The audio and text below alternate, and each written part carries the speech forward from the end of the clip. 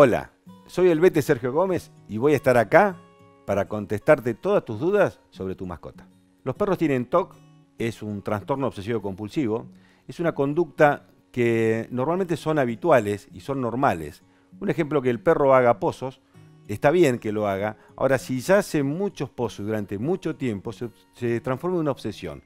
¿Qué quiere decir? El perro cuando hace el pozo simplemente lo hace para resguardarse el frío, para protegerse, para sentirse seguro.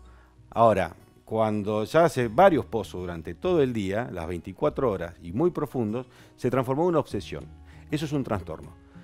También algo que es muy normal es que el perro se, corra la cola, se la persiga. Es normal que un cachorro lo haga.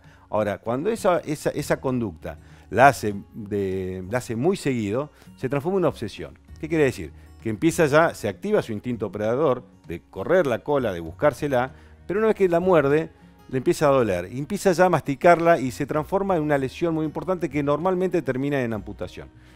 A esos perros, por ahí, cuando uno los lleva al consultorio, lo primero que le preguntamos es desde cuándo lo hace, o sea, qué tiempo lleva, y cuando hay que curarlo se le pone un collar isabelino para que él no se persiga la cola, pero lo importante de esto es que el animal sacarle ese hábito de perseguirse la cola. Tratar de, diferenciar bien en la, parte que es de hiperactividad con sobreactividad.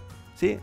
La hiperactividad es un perro que está todo el día hiperactivo, está todo el día ladrando, está todo el día saltando, eso es una hiperactividad. Y la sobreactividad es lo mismo, pero lo hace en un momento determinado.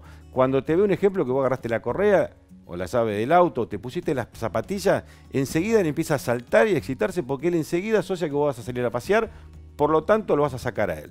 Bueno, eso es una sobreexcitación, o sea, una sobreactividad, donde vos eh, le tenés que enseñar a tu perro que no cada vez que vos agarras la llave no es solamente que vas a salir a pasear, y vos diciéndole que no o basta, él entiende ese comando y no, y, no, y no sigue haciendo eso.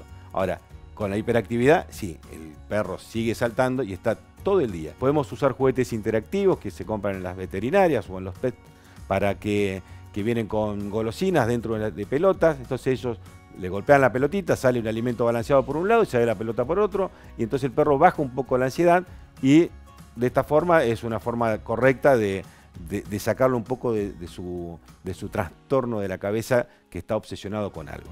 Espero que te haya gustado este video y cualquier duda o consulta que tengas, escribinos que nosotros te la vamos a responder.